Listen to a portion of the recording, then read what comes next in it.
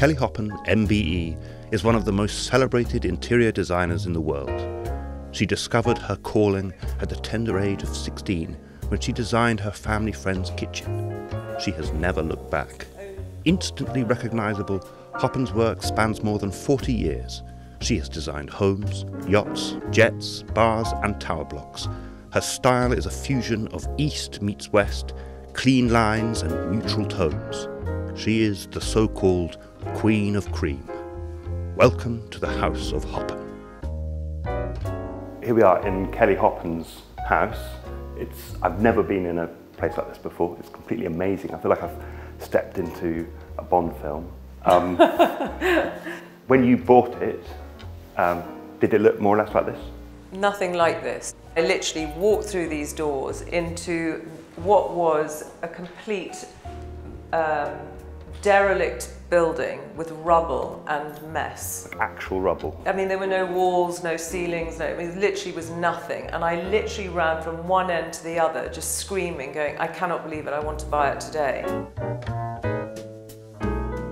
I've read that you, um, you have a uh, outsized imagination that you can go into a derelict building and just see it like that. Yeah, so basically... You, did you, is that what happened here? I immediately came in and knew exactly what I wanted to do, uh, immediately. So you saw, you saw what we have here, you saw... In my head. In that opening moment. Because I have this ability, I'm very dyslexic, but I have this photographic uh, memory. But I also have the ability to design something in my head I created all these runners and bands and structures. So for me, it was all about creating the line. So when you come in from the entrance hall, this shelf will run mm-hmm. all the way through into the other room over there. And then you look at textures. I wanted to have a six meter sofa, which was insane. I think it's the biggest sofa I've ever seen. It's probably the biggest sofa Maybe it's I've the biggest sofa seen. in London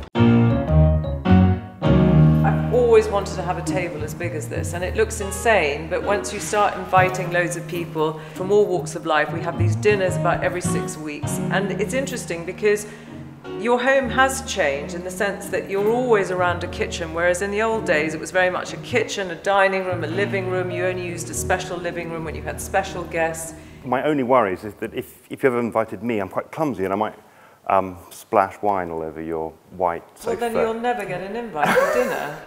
but I mean, you must have clumsy friends who, who spill things on beautiful fabrics. Really, Is that we're a problem? all quite grown You're up, all I think. Okay. But you know, it all looks immaculate because mm -hmm. I'm that kind of person. But if something spills, you get it cleaned. The home is something that fits you personally. So you just said to me, you know, I'm a, if I came for dinner and I spilt red wine, yeah. well then if you're designing that and that's how you feel you want a more relaxed environment, then you design your home around that. Plastic sheets. Plastic sheeting, yeah. you know. Yeah. And, you know, that could come back yeah. into fashion. This room in here is probably one of the rooms we use the most. We're in here every single day. We're great movie watchers. TV. Watching yourself on movie.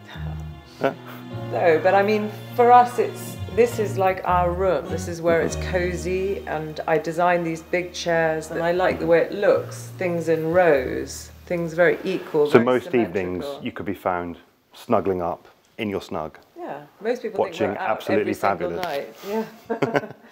when you, when you were a dragon on Dragon's Den, did you watch episodes of it? Yeah, I mean, I, I still watch it. I, yeah. I think it's a great show, and uh, I don't like watching myself back on television, but I'll watch other shows.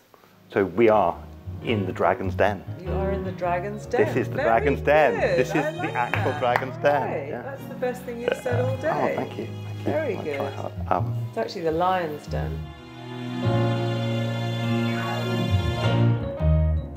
How would I know for certain if I walk into one of your um, spaces in Hong Kong or New York or here, how would I definitely know that it's you and it's not someone else?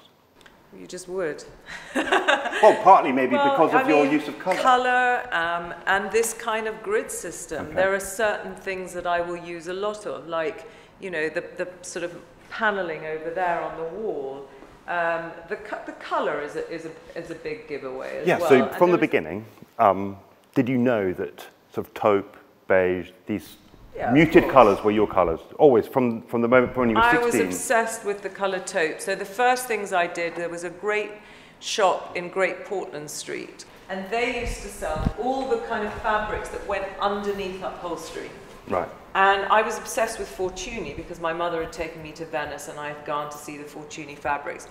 And so I started to design using sort of utilitarian calicos and ticking, but then adding shots of beautiful Fortunys. And that is how the style became mine. And then I went to America and saw what they call mushroom, and taupe suddenly became my, my signature. Do you ever do you ever wake up one morning and just think, no more Never. no more taupe. I, I want. Well, you're wearing a beautiful red dress. You know. I like to live in neutral interiors, and I believe that we get bored very quickly. And I like to put colour, like next month, I might have amazing pink flowers down the table. There seems to be a fine line between design and actual art. Your lights seem to be, you know, could, they could be sculptures. It was really important, whatever was there looked good from above as well as Okay. underneath. And I wanted to have something that was big enough, but also was transparent. So I kind of just, They look like a great sort of bubble, or like. they've been called a lot of things. Have they? um, can we go upstairs? Uh, yes.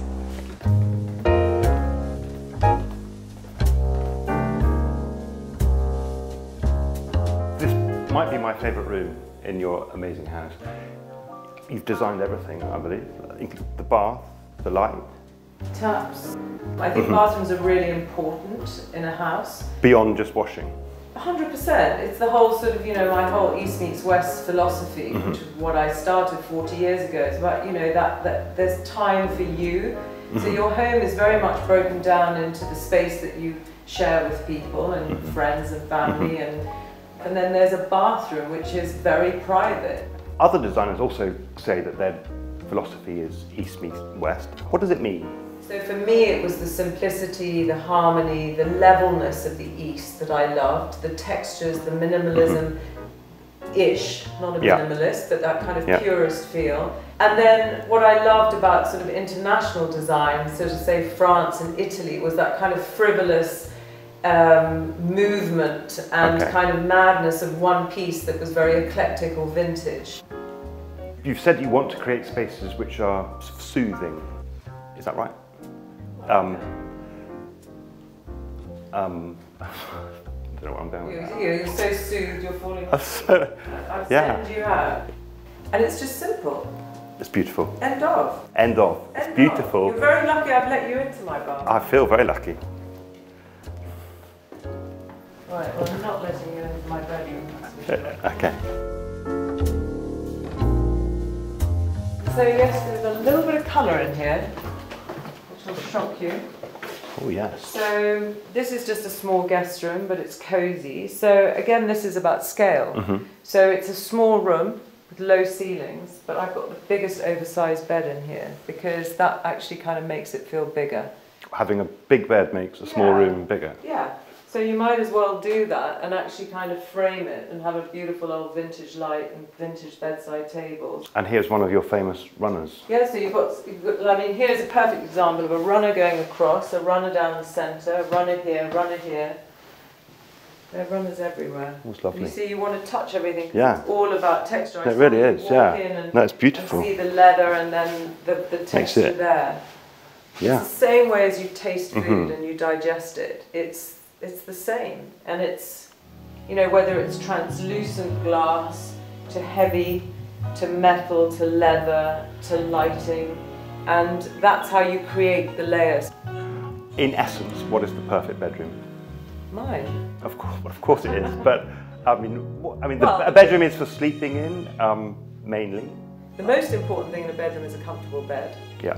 right? For me, it's the bed, it's the textures, the feeling, and a television. We have it. It's done. Done. Kelly, it's been an honour and a privilege to be in your house. Thank you very Um, much. thank you so much. No, it was a pleasure.